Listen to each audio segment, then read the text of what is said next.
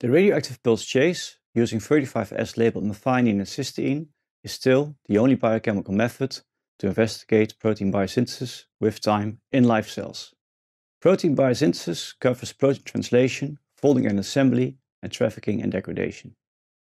Combining the radioactive pulse chase with analysis of co- and post-translational protein modifications, such as disulfide bond formation and ending glycosylation, provides a sensitive and quantitative assay to investigate the protein's fate with time.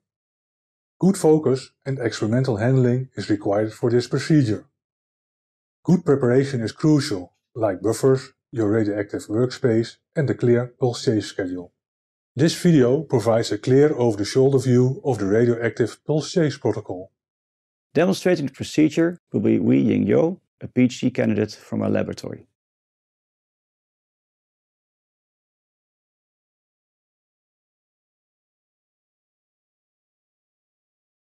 To begin this procedure, seed, transfect, and culture cells as outlined in the text protocol.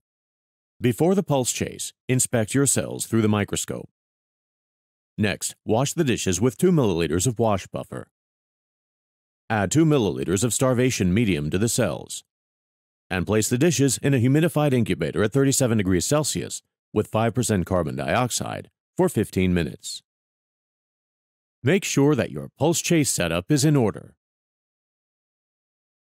Transfer the dishes to the racks in the water bath, pre-warmed to 37 degrees Celsius. Make sure the dishes are in contact with water but do not float.